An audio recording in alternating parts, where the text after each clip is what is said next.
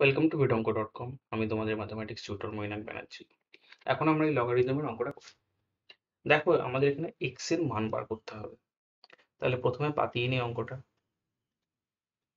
Log base x four plus log base x eight plus log base x thirty two equals to five বা, এটাকে আমরা কীভাবে লিখতে পারি? না log base x two square বা log base x 2 cube plus log base x 2 to the power 5 না 2 to the power 5 equals to 32 হয় সমান সমান 5 বা 2 log x base 2 plus 3 log x base 2 plus 5 log x base 2 equals to 5 তাহলে এবার এখান থেকে আমরা কি বলতে পারি? দেখো, শুধু সবকটাকে যোগ করে দেবো, তাহলে কত হবে?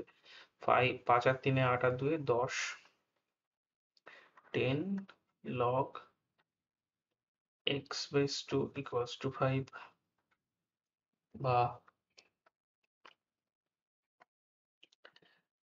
কি হবে? টেনটা নিচে চলে আসবে। তাহলে log x base two equals to half বা x to the power half equals to 2 তাহলে x to the power half মানে আমরা কি জানি?